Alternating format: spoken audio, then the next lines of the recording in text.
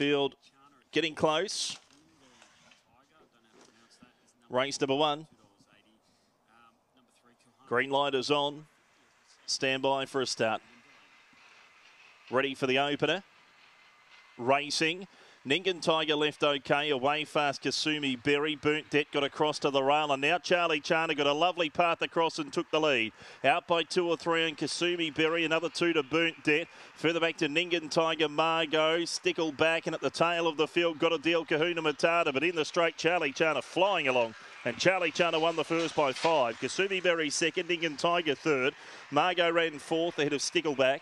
They were followed by Burnt Dead and then Kahuna Matata and got a deal in a time of 21.92. Handy run to the first.